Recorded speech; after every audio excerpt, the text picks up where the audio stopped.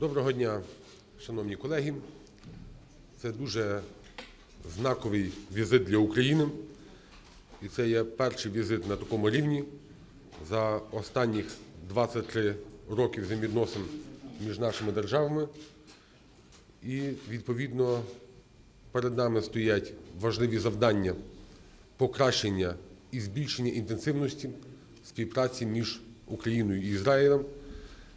Ми сьогодні проговорювали про етапи цієї співпраці, власне, проговорювали про те, які наступні угоди міждержавні повинні бути опрацьовані і повинні бути підтримані обома нашими парламентами.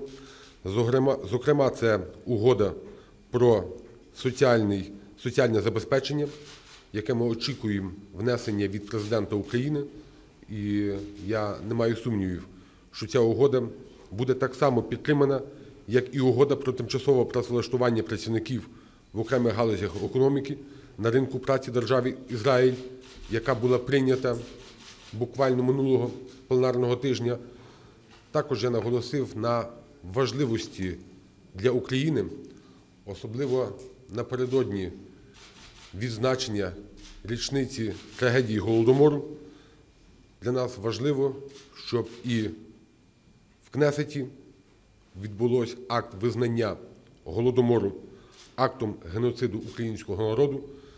Я сказав, що українська сторона дуже розраховує на це, що законодавча ініціатива, яка вже є внесена в Кнесет, що вона буде підтримана, адже Ізраїль, як ніхто, має розуміти цю глибину трагедії, яку пережив український народ в 32-33 роках, і ми сподіваємося на позитивне рішення.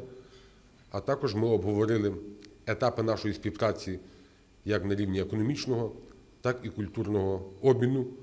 Я глибоко переконаний, що є великий потенціал наших відносин, і ми будемо інтенсивно, плече в плече, цей потенціал використовувати, щоб зробити наші відносини міцнішими і вивести їх на новий якісний рівень.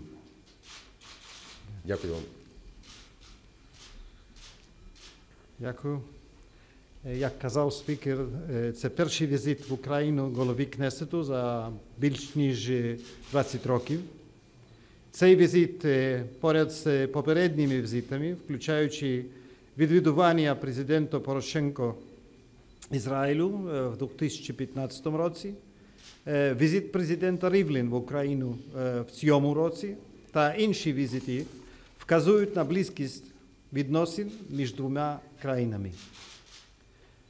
Україна і єврейський народ поділяють спільну історію в тисячі років. Я впевнений, що і в майбутньому ці дві країни, країни будуть розвиватися в дусі дружби і братерства. Співпраця знаходить своє відображення в кожній сфері наших відносин, як в міжнародній сфері, так і в багатьох, в багатьох інших областях, таких як е, економіка, громадська діяльність, медицина та сільське господарство. Євреї України переживають пробуждення і розквіт культурного життя, а також релігії. Це завдяки великому внеску уряду і владі, які розглядають євреїв в Україні як важливу складову багатокультурного українського народу. Я хотів би відзначити зусилля українського уряду, що стосуються збереження пам'яті про Голокост, про що свідчить дуже вражаюча програма заходів до 75-х роковин трагедії Бабі- Бабіного Яру. Близькість між нашими країнами є загальним надбанням громадськості. Приблизно 150 тисяч туристів з кожного боку, а також е, скасування необхідності оформляти візу, свідчать про відносини між народами. Ми також впевнені, що ці цифри будуть тільки рости. У зв'язку з чим немає ніяких сумнівів в тому, що співпраця між країнами продовжить розширю- розширюватися. У Україні багато проблем, але Ізраїль буде стояти на стороні України на шляху їх подолання.